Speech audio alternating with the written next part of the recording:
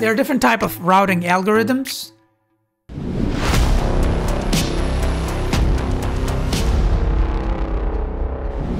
First, distance vector.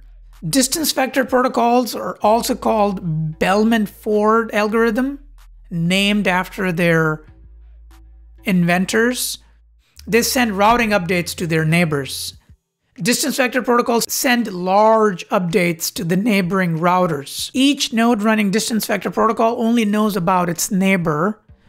Distance vector protocols conduct routing by a process called routing by rumor.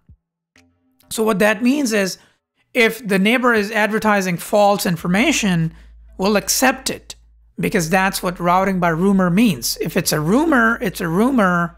We don't know any better because our neighbor is saying it's truth, we'll assume it's it's true and we'll advertise that information to the rest of the environment. Examples include RIP, IGRP, EGP, and BGP. Link state. Protocols, also known as shortest path first or SPF algorithms, they flood routing updates to all the routers in the entire network. So the idea here with link state is that all the nodes, all the routers in the entire environment know about everybody else. And small updates are sent to the routers in link state because everybody knows about everybody already.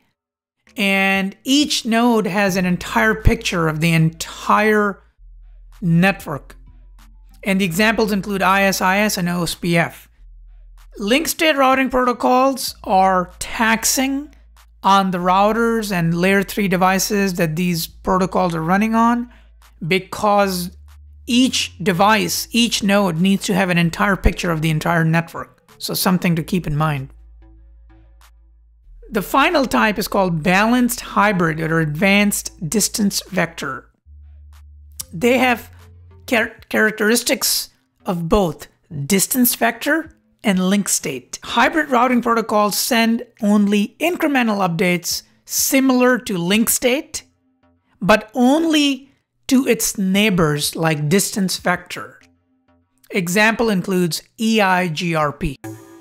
Hope you enjoyed today's video. If you did, give me a thumbs up, hit subscribe, and I'll see you in the next video.